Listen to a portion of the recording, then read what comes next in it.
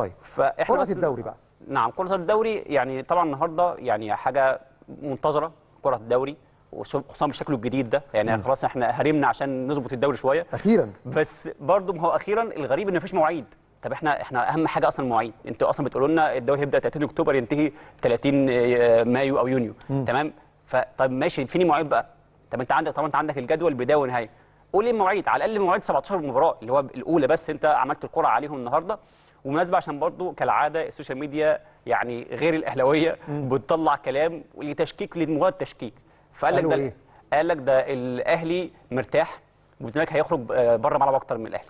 تمام؟ هو برضه من حيث مبدأ أنا عندي مشكلة مع يعني المسؤولين على استاد القاهرة إن هم ليه من الأصل موافقين إن في خمس أندية تلعب استاد القاهرة. أنا لاحظت فرعه الجدول بيتقال الأهلي في استاد القاهرة الزمالك استاد القاهرة مودرن سبورت استاد القاهرة زد. البنك الأهلي استاد القاهرة زد في استاد القاهرة. بالظبط. وادي قدامنا هي الجولات بالترتيب من أول الجولة الأولى.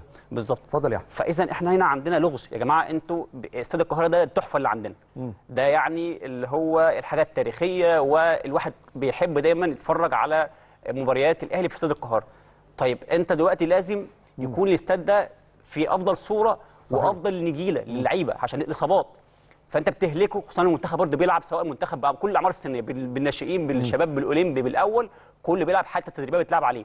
فاذا أنت بتهلك الاستاد وبترجع تقول بعد كده إن أنت بت- بتغلقه للإصلاحات. طب وليه من الأول؟ ليه أصلا يكون في إصلاح؟ ما تعمله من الأول يبقى حافظ عليه. يلعب ناديين ثلاثة بالكتير مع المنتخب. وتاريخيا هو الاهلي والزمالك بيلعبوا عليه. أنا أتمنى يكون في كامل الجاهزية قبل مباراة العين يا رب إن شاء الله. نتمنى طبعا بإذن الله. نتمنى. بإذن الله. آه لكن تعقيبا بس على ال social media اللي كانت بتقول إن هو الخروج فالأهلي والزمالك الاثنين هيخرجوا كل فريق هيخرج أربع مرات بس من القاهرة. ده في الدور الأول. في الدور الأول هو 17 الجولة اللي طالع عنها أعتقد هيبقى نفس الكلام في الدور الثاني لأنه. هيلعب على أرض في الدور الأول بالظبط. مع الفريق ده هيجي الدور الثاني مثلا أهلي. والاتحاد لعبوا الدور الأول في اسكندرية. آه الدور ال- الثاني مباراة في القاهرة. بالظبط كده. فالاهلي بقى الاهلي هيلعب أربع مباريات المصري وفاركو والإسماعيلي والحرس في برج العرب والزمالك هيلعب سموحة المصري وفاركو برج العرب وغزل المحلة في المحله فما فيهاش أي يعني إيه مع إن الموضوع الموضوع قرعه عشوائية. بس سبحان الله ظبطت إن هي 4 و4 الحمد لله. عشان الناس اللي دايما كل حاجة عندها أمر. المظلومية والمؤامرة الكونية. مؤامره ال AI يعني إحنا هندخل بقى مؤامرة الحاج عامر اللي كان بيتهموه ظلما بمؤامره الأهلي ونروح مؤامرة ال AI مؤامرة ال AI. فيعني حاجة غريبة جدا بصراحة.